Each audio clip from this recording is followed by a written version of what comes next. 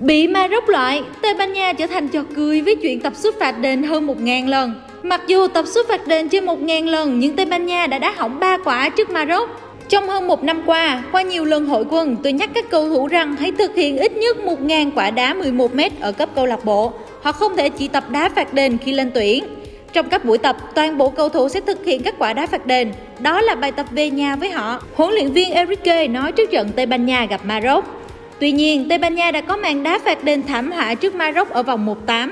Tây Ban Nha sút hỏng cả ba loạt đá. Pablo Sarabia đá trúng cục dọc. Carlos Soler và Sergio Busquets đã bị thủ môn giao Bono cản phá.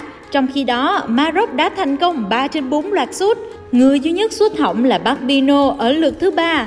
Maroc thắng Tây Ban Nha chung cuộc 3-0 để vào tứ kết.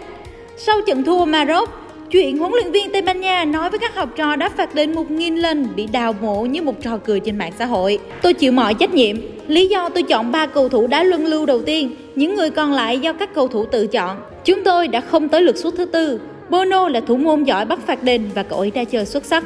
Huấn luyện viên Enrique nói sau trận thua Maroc, thất bại của Tây Ban Nha được coi là cú sốc nhất World Cup 2022 ở vòng 1-8 Tây Ban Nha đã chủ động thua Nhật Bản để gặp Maroc và né nhánh có Brazil, Argentina và Hà Lan. Bây giờ Tây Ban Nha đã bị thua Maroc trong cay đắng.